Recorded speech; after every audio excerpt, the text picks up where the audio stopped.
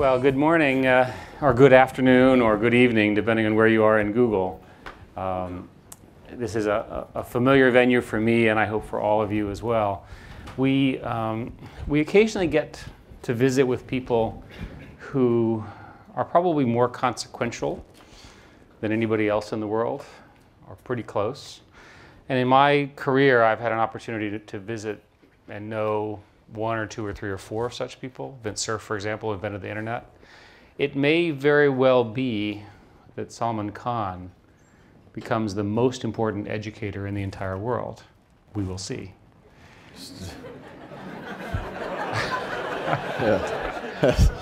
but to imagine the potential that this gentleman has in terms of changing the world ahead of us literally gives me goosebumps to think of the impact that his invention and his approach can have for billions of people. It is an honor and a privilege to have you here at Google.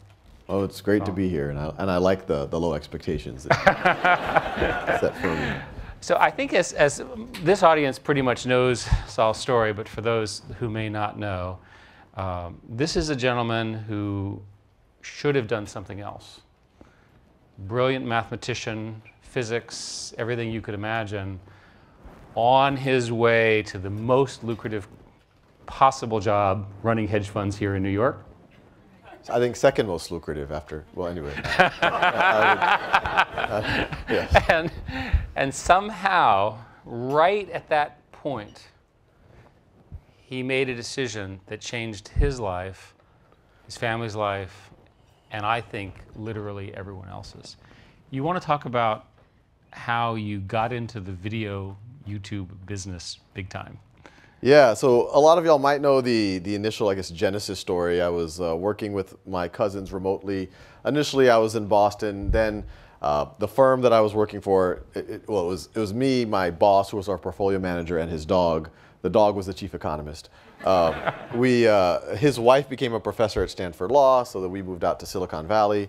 And then uh, uh, while I was tutoring all of my cousins remotely, and I started working on the, the interactive part, which is you know the, the questions and the quizzing and keeping track of students. And I didn't think about the video at all at that point. This was uh, this was kind of fall of 2006.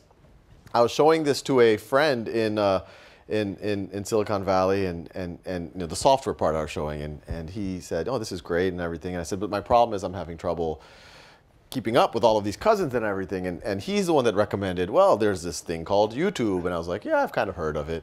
Uh, and, and you want you make some tutorials, put it on that. And I was like, no, no, no, YouTube's for, for cats playing piano. It's not for uh, math. And, uh, but I, I got over the idea that it wasn't my idea and I, uh, I gave it a shot. And uh, you know, like I think a lot of stories that y'all are familiar with on YouTube. I'm not quite at Justin Bieber scale yet, but the um, the you know the, the, a lot the, people started watching it, and by 2009.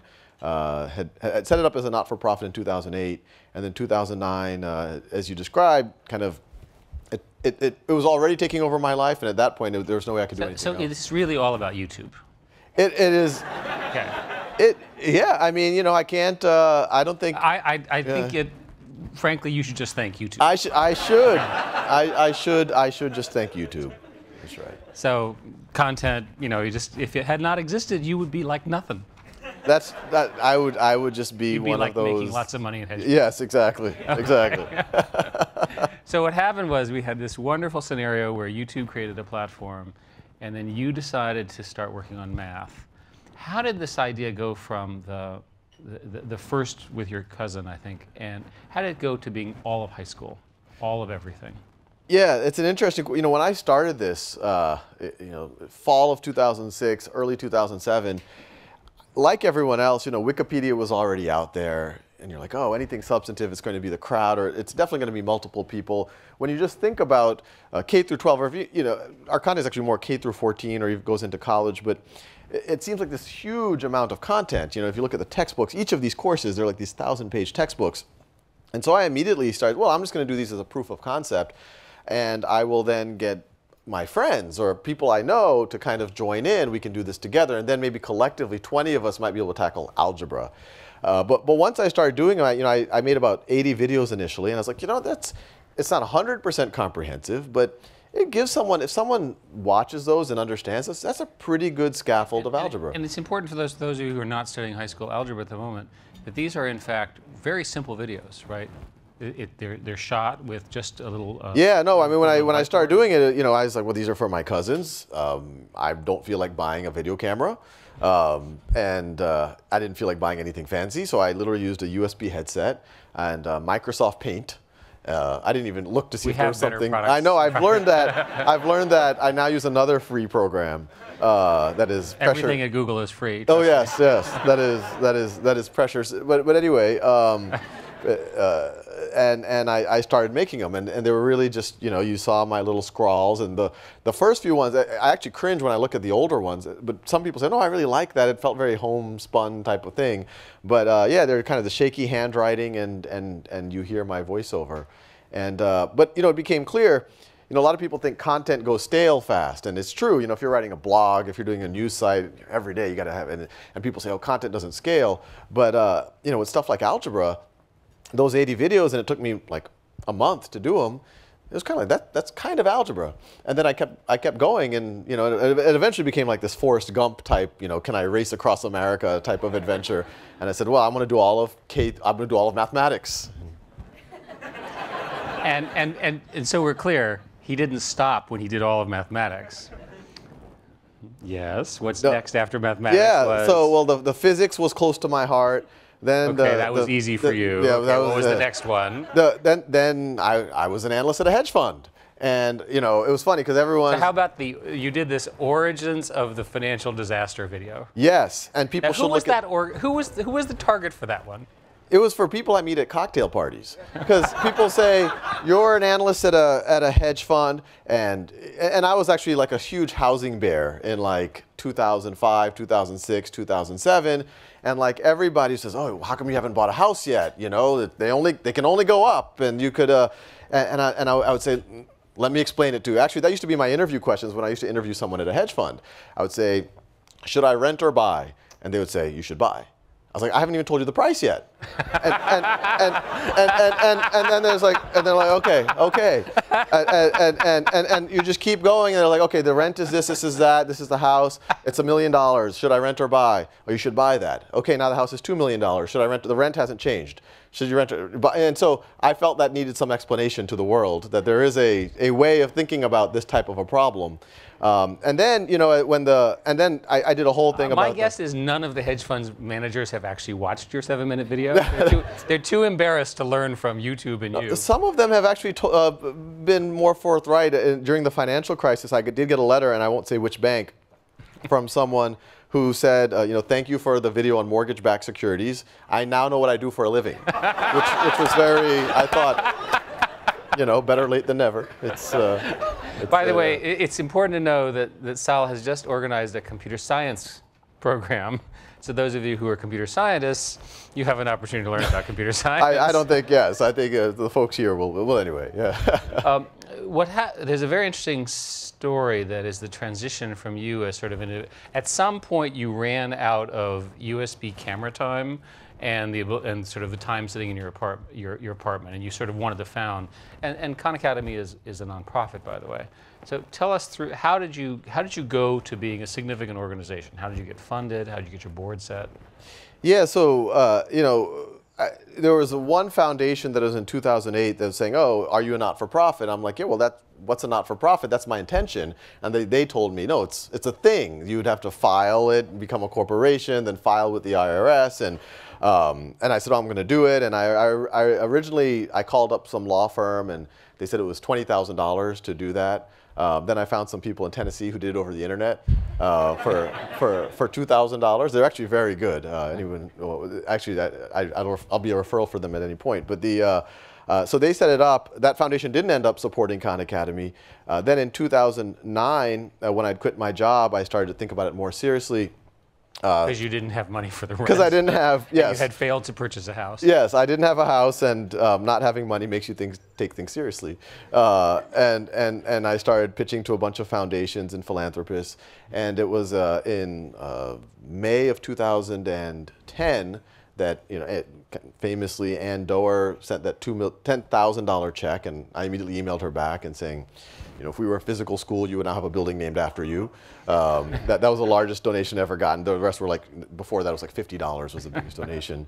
And then uh, we famously, you know, we, we met in, in downtown Palo Alto and, and she said, well, you know, what's your vision? I said, what's a free world-class education for anyone, anywhere? And she said, well, that's a modest ambition. Um, and, and, what does it envision? Uh, it, well, and actually at around the same time, I had some initial talks with Google as well. And we were, we were kind of, uh, and, and this is what I was telling everyone. I was like, you know, I want to keep making these videos. Uh, I want to I want to, uh, uh, we can translate them into the languages of the world. We can create an interactive platform. We can have a community of learners. And, and she was, you know, when I, she, and she said, well, that's interesting. And how are you supporting yourself? And, and I said, I'm not. Um, and, and, then when she, when I went home, she, she wrote that, that first, you know, she, she sent a wire of her text, you know, you should be supporting yourself. I've just wired you $100,000. Um, so, so it was a good day. Uh, that was, uh, and then, and then it was really uh, later that summer that, it, and it all came to, you know, I was talking to Google this entire time, and I didn't realize that it was all about this 10 to the 100th project. And it was really at the end of uh, that summer that, that uh, the, the, Google folks said, well, what would you do with $2 million? And, and, and you know, I said, well, you know, is this an open question? Because there's, I could buy some. It's like an interview question. Yeah, I could, yeah, exactly. Uh, but you know, and it was really the, the same uh, pitch that I that I told Ann, and so it, you know, by that fall, they they were really, I mean, they were the, really the first.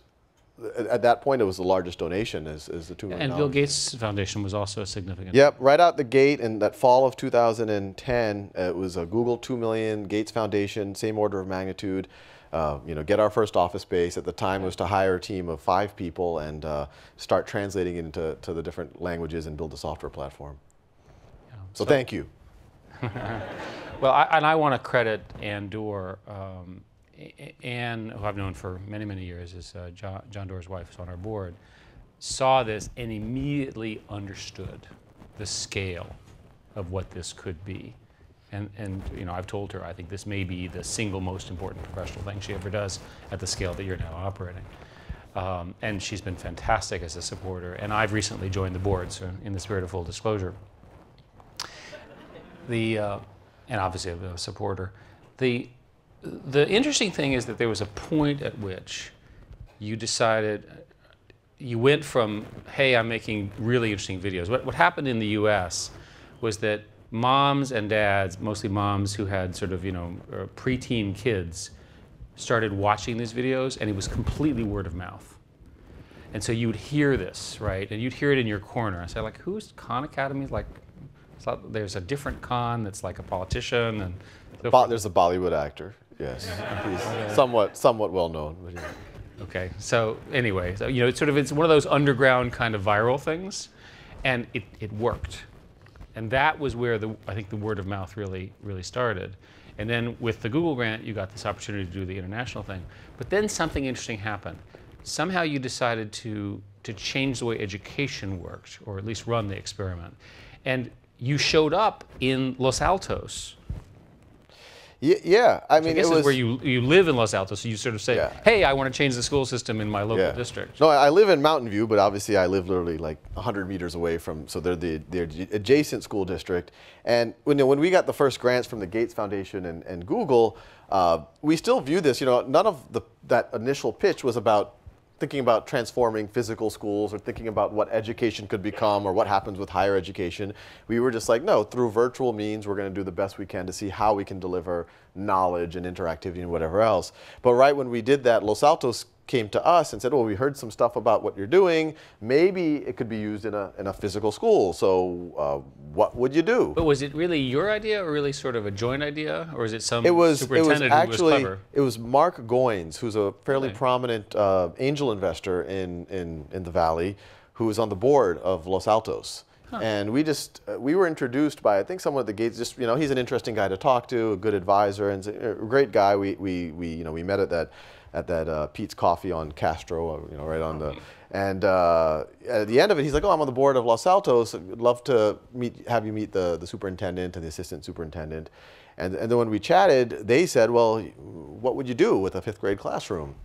And uh, said, well, now that there are ways to get lecture other than a traditional physical lecture, um, now, uh, now that there are ways to get interactive problem solving and give student teachers data, I, I wouldn't have classroom based on lectures anymore. I would have uh, every student, and when you, as soon as you, it's not based on lecture, then it doesn't have to be at the same pace anymore either. So have every student working at their own pace, teachers get information about it, and, uh, and, and are able to intervene in a very personal way with students, or have the students intervene with each other in a personal way. And you know, I thought this was a very theoretical conversation. It's let me dream big, and uh, they they came back literally three days later said, well, this is a great idea. Let's try it. We're going to try it in four classrooms. By the way, this never happens. This Okay, this is like you know a meteorite hit. That's how ra- random this is. no, and it was funny because right when they said that, I was like, oh, that's You, great. you must have done a pretty good job of pitching this. Perhaps I don't know. I mean, I think I, it's one of those. Uh, you know, I, I don't know what they saw. I guess it was good. I Some mean, it was- random guy walks up and says, "Let's redo the." I mean, come We, on. we had been recently validated by some well-known, uh, but it's true. I mean, it was funny because right after they told me that, I was like, "And By the way, can we lease some office space from you? Uh, we ended up going to downtown Mountain View, but uh, yeah, we didn't. We didn't even know where I was. Uh, that was, I think, the I, our president now, Shantanu, had either was about to join or had just joined from McKinsey to to kind of help out. But yeah, we didn't know where our office space was. We didn't hadn't hired our team yet. But yeah, it was very early days, and we were shocked because it's a public so, school so district. The, so, so Sal actually came to came to Google and actually sort of explained his model, and a number of us were part of it. And and the most interesting thing that has be, become sort of the overall narrative is the inversion of the classroom. Can you explain explain that idea, and does it really work? Yeah, so you know this Los Altos thing ended up working wonderfully, especially in the early days. You know, we didn't have the data in the early days, uh, uh, the the test score data, but we anecdotally, you know, famously, the kids didn't want to go to recess anymore. It was super interactive. The parents were enjoy, uh, the teachers were enjoying themselves, and uh, uh, This also never happened. this, uh, and and it was um, in in that April uh, invited to TED to speak, and so it was like, look, you know, uh, we're going to talk about this interesting thing that's happening at Los Altos, and uh, during that TED talk. Kind of in the in the run up to talking about Los Altos, which is which was really taking it a lot further than kind of the flipped classroom that I, I, I think is being alluded to. Um, I talked about even in 2007, 2008, I did get emails from teachers who were saying, look, you've already given a, a competent lecture, an interesting lecture about factoring polynomials or how does meiosis work or why does borrowing make sense or who knows what it might be. Uh, I don't need to give that lecture anymore. Students can watch it at their own time, their own pace. They get the benefits that my cousins had. You know, if you're in an algebra class and you forgot how to add fractions, you will not raise your hand and say, excuse me, I forgot how to raise. Uh, now you can do it without any shame. And then they could use class time for actual problem solving. So what used to be homework, problem solving can now be done with the context of peers and your teacher. Um, uh, you have people to help you. By helping other people, you'll learn more. And that used to be that one pace, very, you know, very passive lecture could now be a somewhat more active lecture. You could pause if you don't understand a term, watch another video, remediate. Uh, what, what we hope now, and, and, and that's what the TED Talk kind of, the next few minutes of it went into, well, that's great. Now we can take it even further with uh, every student learning at their own pace.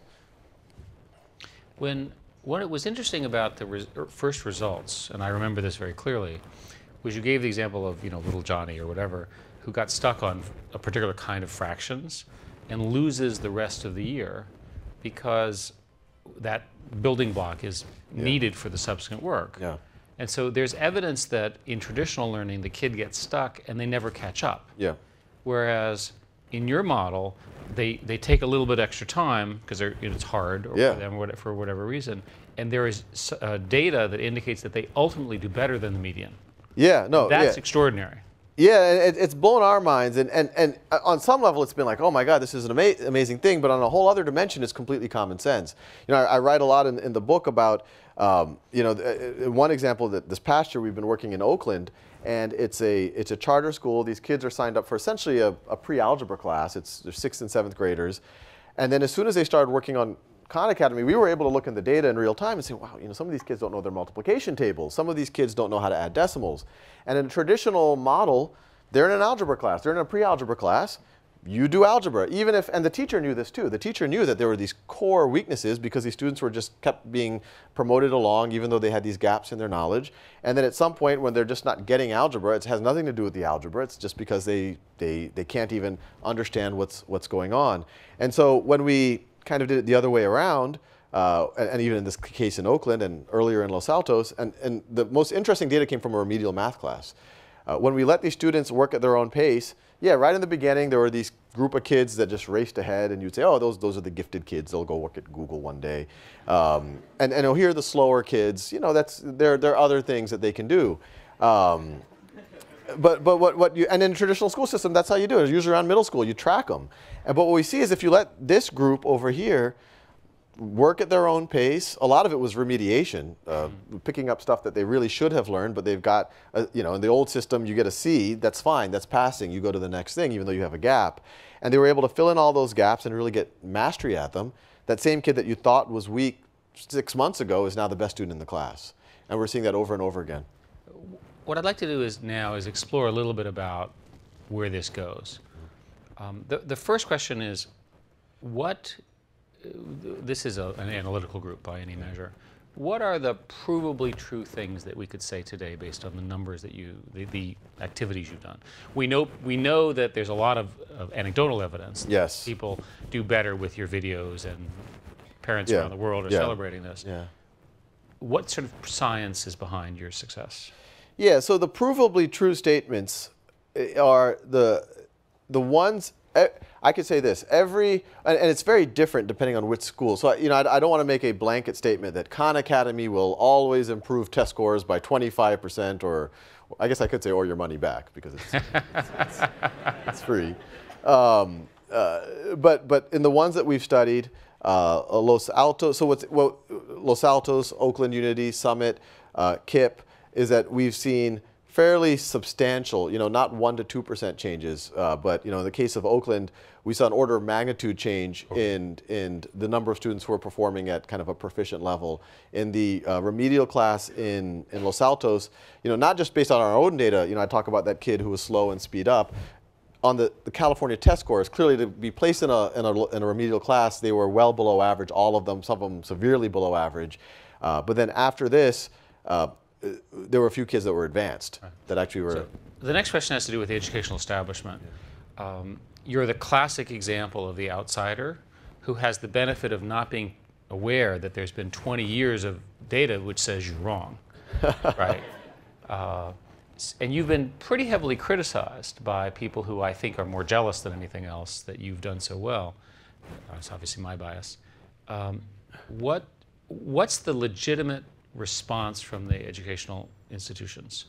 Do you ultimately think that they, that they will embrace this model? Do you think that they will reject you? I mean, you have some experience. Yeah, and yeah. You, and you need teachers. Absolutely. You know, absolutely. you don't replace teachers in your model. Yeah, and I think I think that hits it. I mean, that hits at a bunch of things. Uh, you know, one is some of the misperceptions that people are might have or are having is uh, that you know when anything virtual shows up, that that's going to be in competition for the physical. You know, it's Amazon.com versus Barnes and Nobles, and every, uh, from the beginning, obviously we're working in Los Altos. We, talked about in the TED Talk. It's all about how does the virtual. Yeah, if you have nothing else, it should be able to stand on its own. But how does that virtual supercharge what happens inside of the physical? And uh, and I think sometimes the press narrative they like this, you know, one man in a closet story, and he's like fighting the establishment, and so that that tends to be the narrative no matter what we try to do. But the reality is, is from day one we were working deeply with students. I mean, in, in those early days, we had two people in the organization, and we were working with four teachers and and a bunch of administrators, and then we brought on a third of our team is either former teachers, current teachers, and people who directly interface with teachers. We have 20,000 teachers using it in their classrooms um, uh, as we speak. And so it's, I think that that's one, just, just a misperception. I think some of the fair criticism is, you know, we get these great headlines because people like this story, uh, you know, the messiah of math. Uh, one, one I liked in particular was the math of Khan, which I, I, uh, I thought was, was quite good.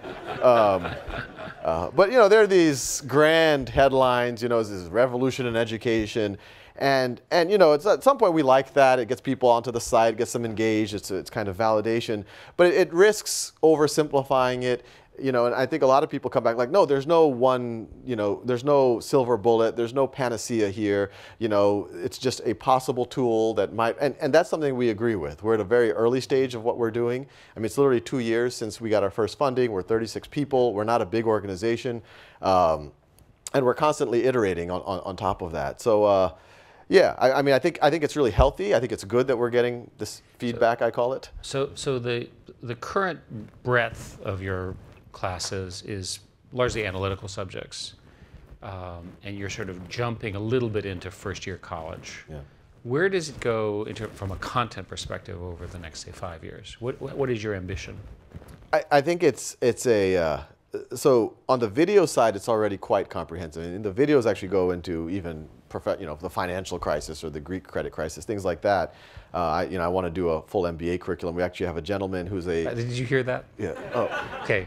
How long will it take you to do a full MBA curriculum? I think you have an MBA, so yes, You, yeah. So I have a sense. so you of- spent two years doing an MBA. How long will it take? Yeah, you and, and? I'll be fair. I mean, you know, the the the the, informational part of an MBA curriculum. So there won't there won't be the pub crawls and all of that. No.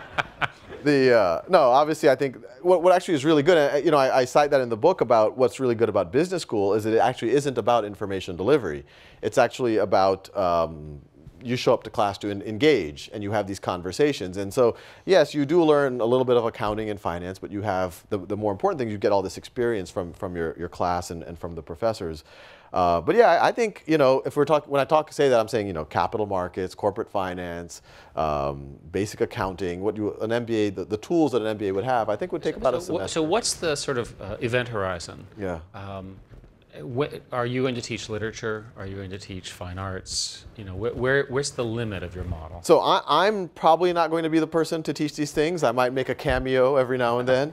Uh, we actually have two art historians who are already uh, making videos. They've made 300 videos, and this is actually it's an under. Um, I actually was speaking at for the, with, at the Kress Foundation, which is a very big sponsors of art history, and and actually I think we we can we might be as influential on, on the museum side of things. Uh, the Google Art Project. Uh, our two art historians were two of the primary voices on, on that. Uh, and, and they have more credible credentials than I do. One was a, a senior person at art history at the Pratt, and one was at, at the MoMA. Um, and, and so they've made some incredible art history videos. Uh, we, uh, I've done a few history videos. We're thinking about how can we do more things in the humanities. And a really interesting thing is how do we do the interactive portion in the humanities? It's one thing to do videos, but we really want to do interactive content across the board. And, and I think our computer science, ironically, is kind of the direction that we would go in. Our computer science platform, you can go code, you can see how the, you get feedback, but you save a portfolio of your works. It's like, like any artist. You would create a portfolio of your works, you get feedback from everyone else. Eventually, people will be able to rate your stuff. And so we imagine doing the same thing for writing assignments or for uh, poem, poetry, or you can even compose music on the site, and then other people can rate how good that music is and give you Your computer science app is an example where you actually have little JavaScript programming activities. So that's a that's a variation of your model already. That's already, yeah, exactly. I mean, we're not just about videos. We're not just about those original interactive exercises, which we continue to build. Computer science was to show, no, we're serious about really deepening the level of learning that you can have here. And it's not just lectures on computer science. It's actually a project environment where you can fiddle around and play with things. For everybody's benefit, I think um, many people don't understand how much a role Google has played in, in a lot of this movement. And I, I'd let everybody know because I'm very, very proud in, in the typical sort of Google bottom up kind of way, without a lot of sort of coordination, the following things occurred. Peter Norvig and Sebastian Thrun sort of cap, cap, uh, catalyzed the entire um, sort of large educational thing with a series of AI classes and so forth done at Stanford um, at the university level. We've been working with Coursera and helped her uh, and that whole team get going uh, at Stanford. Of course, we helped helped you financially, and you were going to do well without us, but we helped maybe a little bit. Um, we've done a bunch of, of these open courses on search and developer things for our kind of technical audiences, and we're getting some experience with all of these. We, of course, are, are quite horizontal in terms of infrastructure and so forth for our kinds of things. Um, what do you think? Um, what do you think that the sum of you, right, you and the five other sort of very, in my view, courageous groups, how would you rate where you are? Right? Are you? you- It's still. It's only been a couple of years. Yeah, and actually, I mean, this, the MOOC world, these massively open online course. I mean, this is very new. This is, I think, the, those first courses were last year. 150,000 students. Uh, sh- universities go crazy, right? They're not quite sure what to do about this. People are just love the information. And, and I think there's some really exciting stuff. I think, you know, and actually, it should, it should probably rewind back to the I guess you'd call it, you know, Web 1.0 in the late 90s. You know, uh, people were thinking about online ed from then. Uh, MIT, I think, was the, the first to step out and do open courseware, and, and to a large degree that inspired Khan Academy. Khan Academy came out and showed, look, there's there's a lot of traction here if the form factor is right, if it's if it's digestible chunks, if there's interactivity to it. Um, and that you know that's been cited as inspiring some of this next wave, Coursera, Udacity, and then and also edX, MIT and Harvard are doing, and and and Berkeley. I mean, uh, do you think that that 10 years from now, this will all be old hat, and everyone. Uh, you, how much does, does, it change over the next decade? I mean, I, if this is version one, presumably version two, version three, version four of your work and their work is quite different. I think there's going to be elements of what we're already seeing in 10 years from now, but I think it will be dramatically different. I think what's going to be really exciting about 10 years from now is that all of these things are going to, you know, right now all of them are on the learning side of, you know, education is this mix of things. It's not just learning, it's the main focus of education, but it's also socialization and it's credentialing. And right now, all of them are tackling the learning side. Some of these MOOCs are giving these certificates, but they're not mainstream credentials that, that have economic value or they're authenticated. Um, I, I, think what you're going to see, you know, this MOOC stuff has been great for us because we're like, okay, we're doing this asynchronous model where people can jump in. If they want a full narrative, they can chain them together. There is a community, but and, and we're able to reach, you know, we're at close to 7 million uniques right now per month, but they're doing something slightly different. They're doing a synchronous model, which is around a classroom. It creates right. these cohort It's a much more structured classroom model, exactly. but using the virtual. And But they get the people who, the 100,000 or you know sometimes 20 to 30,000 who finish, they're deeply, deeply, deeply engaged and they feel like they're part of something. And so we're learning a lot by observing them. I think it's going back, you know, we're saying how can we get the best of that? And I think they're saying, well, how can we get the best of the asynchronous? I think you're going to see things that, you know, things like Khan Academy where you could take flights together, where like, hey, there's a, there's a trip on algebra at this pace. I think the different pacing is important because people have other stuff to do in their life or they just learn differently. Um, there's a cohort of 100 people leaving tomorrow. You want to join. If there's enough people, there could be a whole cohort it's leaving a travel, in minutes. Travel exactly, and then you have that cohort effect. I think the biggest the biggest thing we haven't talked about yeah. is your impact internationally. Google, of course, funded yeah. uh, the localization work, and you're busy expanding that to many different languages. Uh, it must be very satisfying to feel that people who literally have no textbooks are really reliant on you. Yeah, it, it's been incredible. You know, we've been doing this translation project for a while, and obviously people have been consuming it in English as well. And there's been these NGOs who've been taking the content and putting it on, at least just the video content, putting it on DVDs and thumb drives and taking it into villages and whatever else. Uh, but the, the translation, we've just surfaced a lot of the videos that were done, primarily funded with that initial Google grant. If you go to the bottom of any of the Khan Academy pages on the footer, there's a little drop down. It says English, you drop down. There's, uh, I think, 900 videos in Spanish, 900, close to that in Portuguese, Arabic, Bengali, Hindi, Urdu, uh, Russian, French. And so we're starting to, to get the international side. And probably the best story that we've heard, there's a group from Cisco Systems who they've been going and installing computers with with broadband in orphanages throughout Asia. And uh, they set up one in this orphanage in Mongolia. And there's this 16-year-old uh, girl, Zaya, who started using it on her own. Super brilliant. We've talked to her, them about Zaya. And she's now our prime translator into the Mongolian language. My God! Um, out of the orphanage. Yeah, this is like you know straight out of like Diamond Age. I mean, it's it's like uh, wow. Yeah, yeah, yeah. The um, the book is the the One World Schoolhouse, and it's coming out in the next week. No, it came out Tuesday. Tuesday. Yes. Okay, so it's just coming out. Yeah, yeah, have it in the back, and you're going to do a Google Hangout for us on the 17th, right? That's right. So try to promote this. I think it'd be interesting with this kind of an audience to ask people for their questions or comments on this or anything else. I hope you all understand why I think this may be the most, person, most important person we meet over the next year or two. Sal Khan, go ahead. Yeah, by the way, just let me say thank you. My daughter actually three, three and a half years ago started using some of your stuff when she was in high school. And it oh, was, great. It was great. That and is this because the, the, the, it was a supplement? Yeah, there were questions. Uh, she'd actually transferred from England. I wasn't happy, and she wasn't happy with what she'd learned in that school system coming into the school system here, and she was able to catch up on some things she didn't understand uh, by using Khan Academy. It was, it was marvelous. Uh, there wasn't an alternative. But listen, let me ask a question here. And sort of the whole flipped uh, flipped classroom idea, you know, uh, is is is is a fascinating one, and I think is going to turn out to be uh, very important, as we've already seen. But I wonder if there isn't another kind of flipping that that we can do here, a really important one.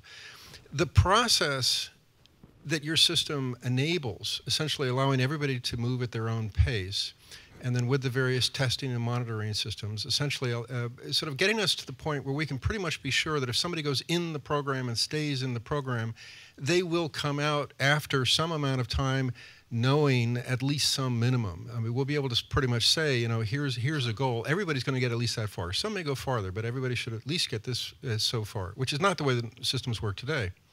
But this introduces, I think, an interesting opportunity to switch things, and that is switching the grading or switching the measuring. Today, what we do is we focus a lot on, on measuring the kids, the students, determining whether or not they're any good.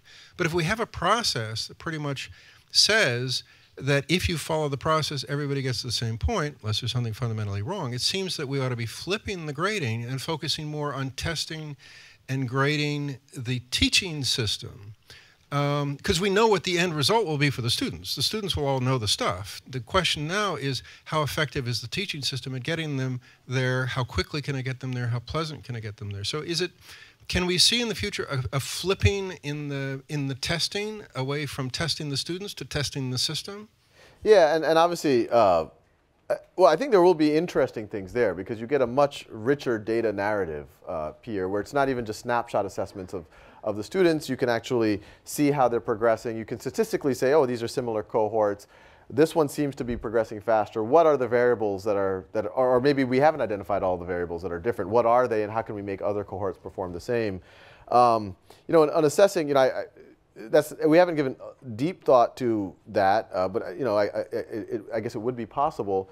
Uh, I mean, it brings up something that early on one of my friends uh, threw out, which at first seemed like a really crazy idea, but when he thought about it, well, why, why not? He's like, well, why we should have uh, outcome-based tuition, where instead of it based on you know how much year, if we can get you to this level of competency, you'll pay 18 years of tuition, um, and we're and you're all better off because it only took three years, you know. So, but um, uh, uh, it, it, does it does lead to that interesting thing, and you know, to the first part of your comment about the, the flipping, which you know, in, in, the book I go, I, I, talk, we could go even further than that. The flip is still kind of within this Prussian model that we inherited from a country that does not exist. You know, this assembly line model where we literally have, you know, you literally put these students in these age batches. And it's literally an assembly line. I mean, we don't think of it that way, but they're moving at a set pace. At every station, something is applied to them a little bit. It gets different grades and at different points. Just like, oh, that's, you know, that's a good cranberry. That's a bad cranberry and and that's going to be you know for Whole Foods or whatever, and that's going to go someplace else. And um, and and and and what we're, we're, and we're saying no, this is this is silly. Just get to that outcome where everything is is a, is a good outcome. Um, but yeah, I, I, think I think the, the, the, in the near term, what I'm most excited about in terms of real, and I think this is actually going to happen when you talk about five, ten years, it's the first sign that, that the cracks are emerging in, in, in the old model, but everyone's improving is um, I think everyone across the board is, funding, is fundamentally questioning should they be giving a lecture anymore, finally. Uh, you know, I was on a, a panel with John Hennessy at, of Stanford, and he, you know, we hadn't talked about it or anything, but he on stage said, look, we're seriously looking at whether we really need to give any lectures anymore. That when people gather, it's not that they're, they're not going to say people shouldn't gather together, but when they gather together, it shouldn't just be like taking notes and you don't know the other people in the room. It should be interacting with each other. It should be getting help from the professor and the TAs and everybody else. So teaching will no longer be a performance art? It, yeah. I, I, unless you have a YouTube channel. I, I, would encourage you to consult the leader of the Chicago Teachers Union as to timing. Uh, yes, yes, sir. So it's very impressive, of course, what, what you've done. I had two questions. The first is um, your point about being able to look at remedial stuff is, is great. Uh, in your videos, do you have like pop-ups or overlays that show the topics that students might want to read up on during the uh, during that topic, like during when you're doing algebra and adding say fractions with you know with unknowns. Can you is there a quick link to get uh, to adding fractions? The problems, the problem generator. Yeah, and this is something that so the simple answer is yes. Uh, and, and the more complex answer is we think it's not ideal the way the site is set up right now. The, the way the site, you know, the videos kind of took a life of, of their, in, in the old days actually the videos were there to complement the problem sets. So the way I viewed it is, oh, I'm, this thing generates problems for you. It can give you hints if you need it. And if you really need it, you might need a video. Because I, I, used to say, hey, the hints are probably good enough for you to, to, to, give. That's how I used to tutor my cousins. Give them a problem. If they had a little trouble, I'd give them a little intuition or a little hint. Um, and then later the videos took a life of their own. And then later when we got resources, we started investing again in the, the problem generator. And so our problem has been the, the connections and the narrative and where do people do go. And we're starting to do that curation process. You can do it already. They both already exist and there are linkages. They're not ideal right now. Uh, we're, we're uh, what we're launching and trying to kind of get the best of the MOOC world and the, the asynchronous world is we're calling them tutorials. So a tutorial in our mind, it's not a semester commitment. It's a collection of things that is roughly a one hour to one week commitment uh, that's around an idea like photosynthesis or entropy or whatever it might be. It's some, you know, it'll be video, video, exercise, computer science simulation, video, video exercise, community or open-ended thing. And so yeah, that, the, the goal is exactly that. I mean, but things like fractions, they already are connected. If you watch the, if you do the fraction exercises, the videos there, the videos there, the fraction exercises. Yes, sir. So thanks for a great interview. Um, to expand on one of the previous questions, one of the biggest impacts that a teacher can have on students is not delivering information, but to inspire them, to actually make them interested in the subject. How do you envision your um, work helping them do that? Yeah, so we can, I mean, there's, there's, there's a, a couple of dimensions here. I mean, on, on, the simplest dimension, what we saw at Los Altos even two years ago is we did it just by giving them the, the room to do it. You know, you take that lecture out of the room and you actually take a lot of the, administ you know, the administration out of the room in terms of grading homework and you take that out of the room, now all of a sudden a, a teacher has what they want to do with the classroom. And, and some of those, uh, you know, uh, the teachers that we worked with, they were incredible. They, they had a list of things that they really wanted to do. They were doing these really interesting projects that were inspiring. They were, they were like, look, for the first time, I'm able to spend some time with every student in the classroom. Literally just talking to someone on a personal level is inspiring them. I mean, as opposed to being, being distant from them. But on top of that, we do realize, you know, we've been saying, hey, class time should be used for interaction, should be used for projects. Um, projects are not a trivial thing. It's, it's very easy to have bad projects, cookbook projects. Uh, and so that's why we, we, we, we wanted to put resources into this computer science because it's so general, it can be used in anything. You know, I just made a video for, uh, Le LeBron James literally reached out and said, I want to help make math videos. Um, and, and, and this, this never happens. This, this, this okay, never like happened. the fifth thing that never happened. This is the fifth thing that never happened. Did he call you or did you call him? No, he called us. He, I mean, his people called my people. But the, uh, the, uh, the uh, but there, he, one of, you know, and, and, he asked these interesting questions related to bath. One of them is, you have 30 seconds left, down by three. Is it better to shoot the three or take the two, foul, hope for another possession? Um, these, and, are, and, these, are, problems that have occupied him for some yes, time. well, it's a core, it's a core problem, you know, and, and uh, and uh, it's, it's funny because at first I was like, oh, I'm going to make a video for it. And I, I started doing like a decision tree for it, you know, and all of this. And actually, this, the second scenario gets quite complicated based on did they make one freeze, how much time went off the clock and all that. And I was like, oh, well, I have this great computer science tool now. So I did a Monte Carlo simulation for, for LeBron James.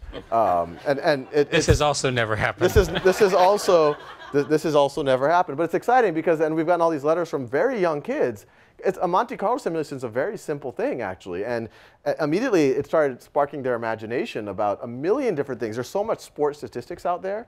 You can leverage those sports statistics. And now that you have a pretty easy to use uh, coding platform to do some really, really interesting kind of decision analysis. And frankly, stuff that I don't think even some of the people in the, you know, the, the head offices of some of the sports teams have, have actually done. Go ahead. So you've done some amazing things helping people actually learn stuff. And that's mostly what schools do. But they do one other thing that's important, which is they certify that this person has a reasonable knowledge of this topic. I was wondering if you had any thoughts on uh, fixing or improving the system of standardized testing. Yeah, I mean, it's really what you're talking about is credentialing. How do we, how do people prove to the world that they've learned something now that there are all these great resources to actually learn? Right. And uh, I think there's a bunch of interesting things here. I mean, there's a big movement, and a lot of these things have always been out there. People have talked about it, but now there seems to be some traction. It, it's generally called competency-based learning instead of it being based literally on seat time, and then you just get promoted. Look, you take as long as you need, and when you feel you're ready, you go take a, a proctored exam. It should be a rich exam. It could be even an oral exam, and you prove prove that you actually know it. And, and I, I frankly think that's going to be especially powerful at the uh, higher education level.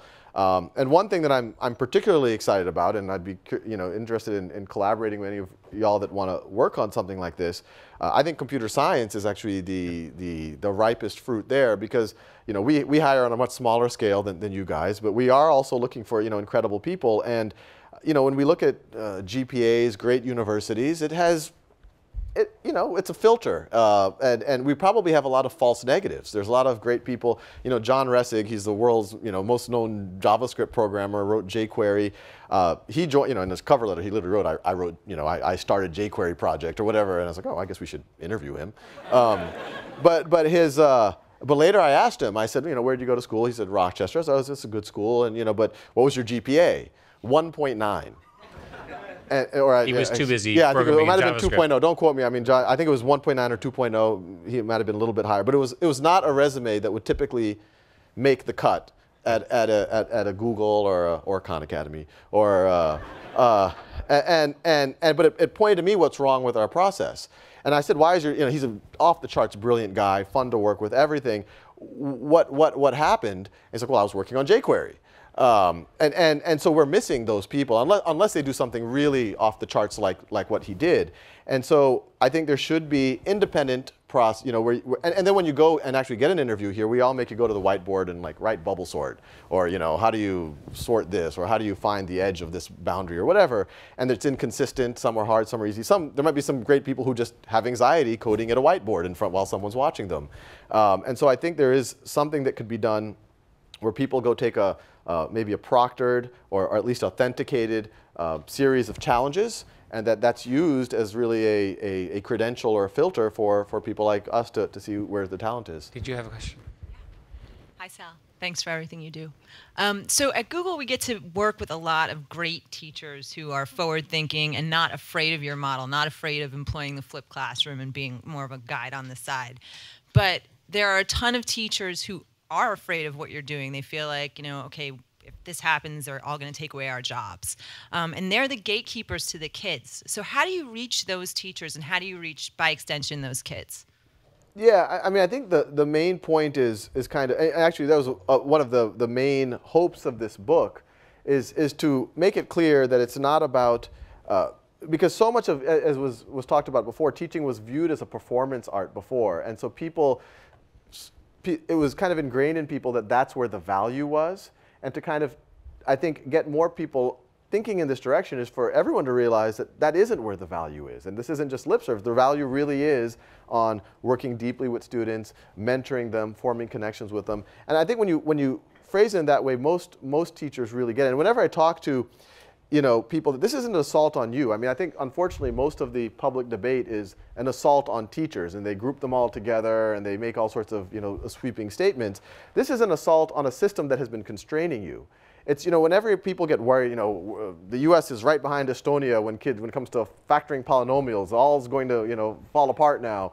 Um, the, the reaction from government is, let's put more tests on it. Let's put, it, and, and there's, you know, there's a rationale to that, and it might de-risk some of the, the worst performing situations, but it also completely handicaps everyone else. And it makes our system, frankly, more Prussian. It makes it more rigid, more, more controlled.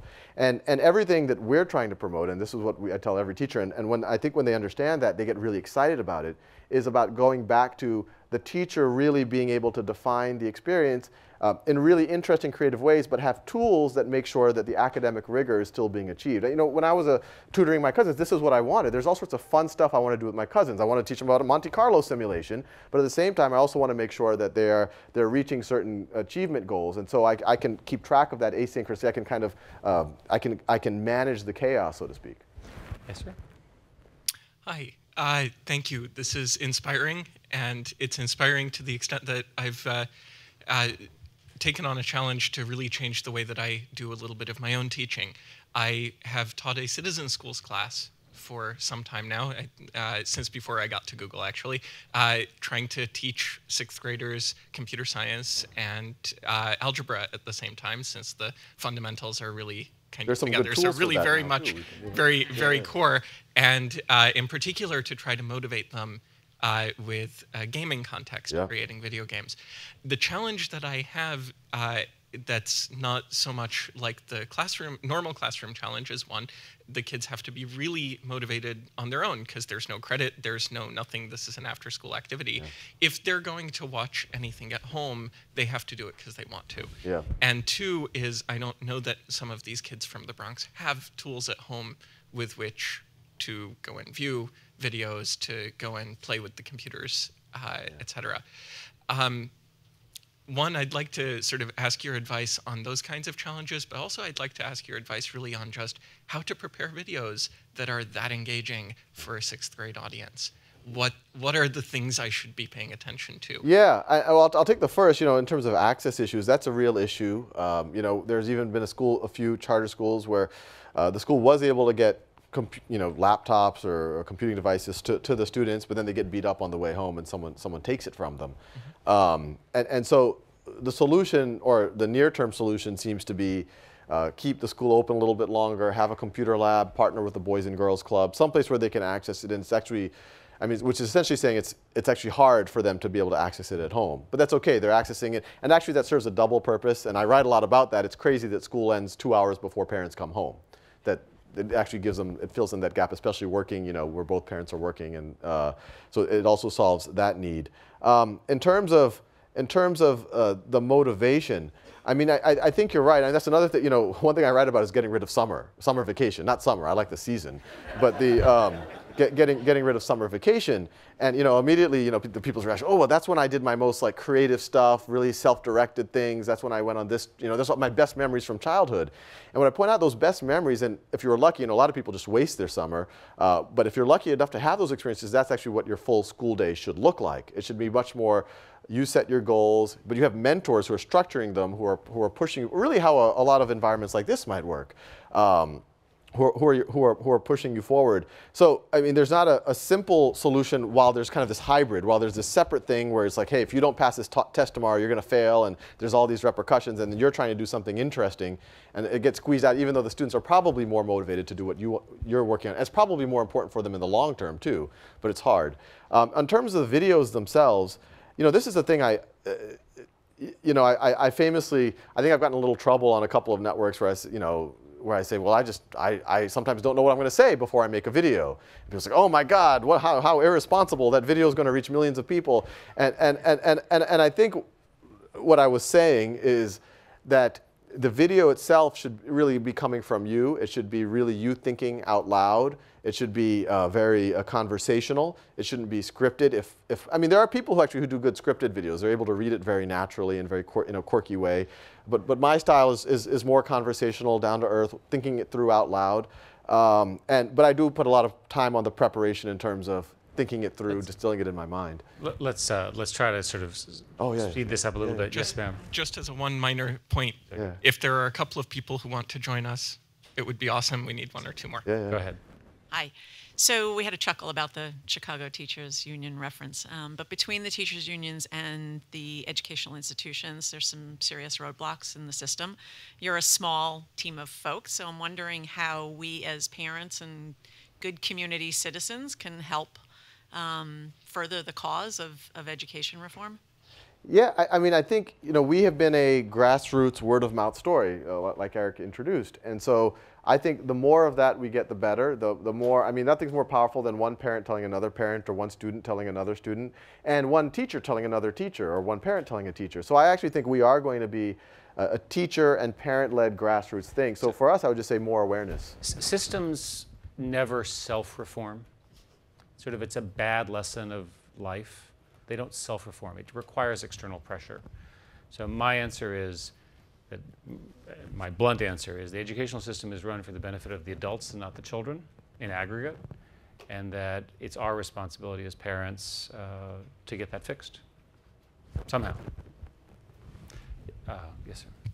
Uh, I just want to say first, thanks so much for coming. You're a huge inspiration to me, uh, and it's great to have people like you here at Google. Um, I, before I started at Google, I was an educational consultant, and one of the things we really promoted was the use of Chromebooks with Khan Academy as a cheap, effective way to have an effective learning suite. Um, and the teachers were really into it.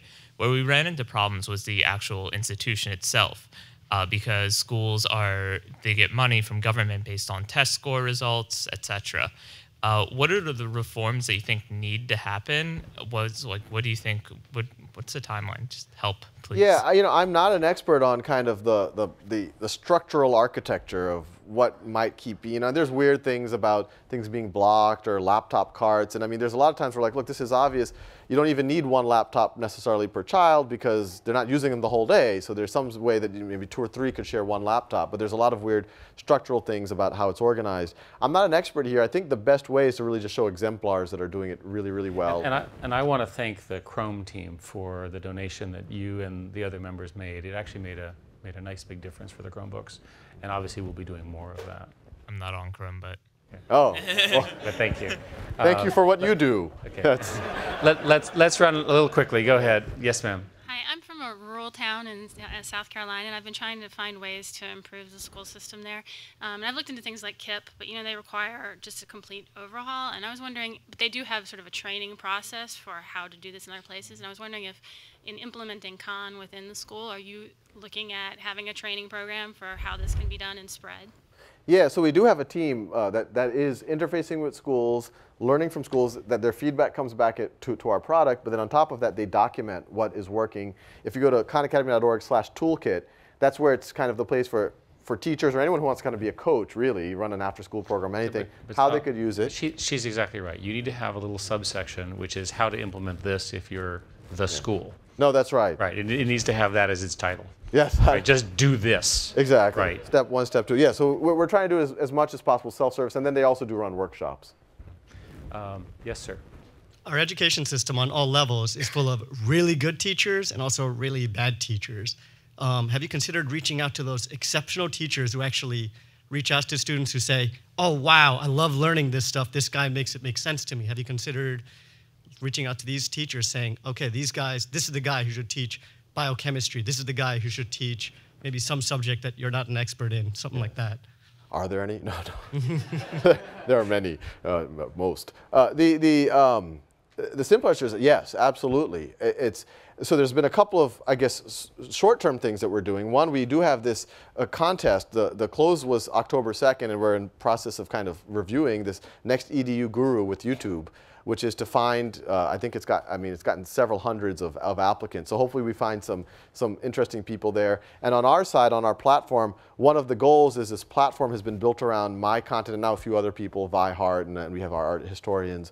Uh, but it can be a generalized platform. And so we want to allow, hopefully in the next six months, anyone to start creating tutorials on our site and then, um, and then maybe we can start to recognize the tutorials that are resonating with people and, and then maybe bring them into the fold. Let's have these be the last two, two questions. Yes, sir. Uh, first, thank you. Um, Khan Academy is the reason that my wife passed physics. Oh. so Tell her to make a YouTube testimonial. I'll put it in the slide deck. I, I actually will. Oh yeah, no, Um, I'm serious. By the way, that, that's, that's wonderful. Yeah, yeah, that's incredible. Wonderful. Go ahead. Um, when you talk about the, the sort of the Prussian model, uh, the assembly line model of, um, of education, and that uh, the, the Khan Academy tools free up educators to sort of abstract away that, that portion of things so that they can focus on interesting projects and so on, um, how would you respond to the worry that if all the educational system is interested in is that assembly line aspect, that they could replace the entire school system. I mean, you, you mentioned that there, there's a significant worry that educators have that the entire teaching industry could, you know, we're all going to lose our jobs and so forth.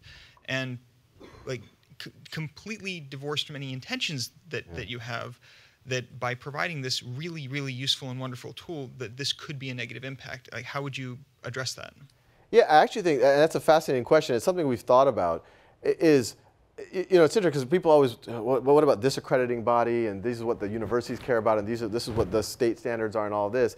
But if you really think openly about the the, the, the whole ecosystem, the the end consumer of whatever the, the system is, is are the Googles of the world, are the Facebooks of the world, are the are the Goldman Sachs's, are the, the, the hospitals of the world. I mean, these are the, the firms of the world are, are the ones that are consuming it. And I think they've, if anything, been screaming for, yes, we want people with, that have shown competency in algebra and have good SAT scores. Yes, that's one dimension. But I think all of y'all recognize that we are looking for people who are capable of actually creating things.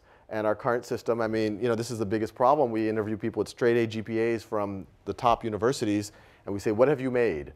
And they haven't made anything because they're too busy getting their, the, the, the really good GPA. They're smart people, they're capable, but, but they didn't do it. Um, and so I think the fact, if we, if we collectively as an ecosystem start demand, and we are demanding it, um, then these will be valued. And you know, there, there's there's two dimensions. There, one dimension is the academic achievement that's already there, and I think even there, the human component will always be super super important. I mean, we can do one thing maybe for a very self-motivated student, just purely with virtual, they could do a lot. But having peers in your classroom to bounce ideas off and work with, and having teachers that can mentor that, will will only supercharge that even more. Um, but the other two dimensions, which I think are equally or more important than that, that are not measured today, are how good are you at mentoring others and explaining to others um, and having empathy for others? And we could actually start to assess that with you know, peer-to-peer review, uh, ratings, how much, how much time you're putting in on, on behalf of others, and that hopefully will be another kind of SAT score of the future. Um, another thing would be dimensions like perseverance, because now you have a data narrative. It's not just a snapshot assessment. Uh, you know, you had trouble, but did you persevere? To some degree, I might want the kid who took two months to learn negative numbers because he persevered as opposed to the person who just got it like that. Uh, and, and, the last dimension is a portfolio of creative works. Thank you. Thank you. And our final question. So you briefly mentioned uh, internationalization and translation. And I know it might be hard to get numbers or information from here, but um, what have you seen in terms of rural areas or areas in the developing world where there might not be a classroom or there might not be teachers? And are you getting good usage there? How is that changing things in those locations? Yeah what's hard there is that's been the hard that's obviously hard to measure because a lot of those are offline. Uh, but anecdotally there's a lot of ngos who are going out there and and taking the content and they tell us and they take pictures and you know that, that's all we can tell now. What will be exciting be, over the next four or five years as the broadband or at least some level, it doesn't have to be broadband, it could be very low, but at least enough to keep track of what's going on. We will for the first time, you know, for the last hundred years, people have wanted to set up schools in a village, and no one has any idea of what's happening. And I think what's exciting is in the next five years, people will start to know what's happening. How, how are people engaging with the content? My, my sort of final question for you is we have all of Google here and, and through our video conference, as you know, around, around the company. Um, and obviously Google is a huge supporter of what you're doing for all the reasons that you see from the questions what is the list of things that Google could do that would make you even more successful? Obviously, continue the success of YouTube. We're wiring up Kansas City. Maybe we can wire up some other cities. We use App Engine, so you use App Engine. Yeah. Excellent. Okay, any complaints about App Engine? Yeah. No, so far so good. So so, so yeah. far so good. Um, what are some other things Google could do to support you? Um, I, I, don't know how frank I should be on this. Uh, there's a lot I could, uh, but but no, I, I mean I, I, think awareness is a huge thing. Yeah. I mean that's a, that's a, that's hopefully an easy thing. Um, I, I, think feedback. I think there's ways that we could work together. I think you know some of these things like creating credentialing architecture. I think that's a, mm-hmm. I think that's a game changer if we could do it together. And obviously, if we have people like Google, one to help develop the credentials themselves, yeah, we but have, also and the, we have a, a, project called Course Builder, which is yeah. underlying infrastructure. So yeah. you might argue that that would be an extension of a yeah. Course Builder type project. Yeah, and, and, and Course Builder is on the learning, but this really like, okay, even if you didn't get a CS degree from anywhere, this is something that if you get through this series of things, Google will take a serious look at you. Uh, you know, other software companies will take a serious look at you, and if you all do, the rest of the ecosystem will as so well. we could sort of set that standard, and then everybody else would follow. Everyone, I mean, I every like other company in the in the in the world would, would take. What, what do you want the parents or future parents uh, in this room to do to change the school systems? Because most of these people in front of you don't really have a school choice. They have a public school. They may or may not have access to a charter school. Yeah, I mean, uh, you know, as, as, before, I think it's it, parents telling parents, raising awareness. I mean, if each of y'all went and told, you know, 100 people, it would be it would be a pretty epic in terms of the awareness uh, that's happening. On top of that, I, I, think there there could be an element of if if you can. Uh, you know, talk to teachers that, that are in your child's life about this and tell them, look, this isn't about this replacing you. This is really, I think, something you're going and, to And address their fears. It, address their fears. The fears are all obvious, and, and I think we've, we've, we've discussed them. Yeah, yeah. And, and, and I, I think anything you can do to kind of push people's thinking, show examples of, of what can can happen. Maybe you could self-organize and, and make your own little you know boutique school that really pushes pushes the envelope of things. But yeah, any of the above. So so the book, of course, is the One World Schoolhouse coming out two days ago. yes. Um, not only have I read it, I've endorsed it. Uh, you should read it too. Thank you very much, my true heroes, all time. Okay, thank you.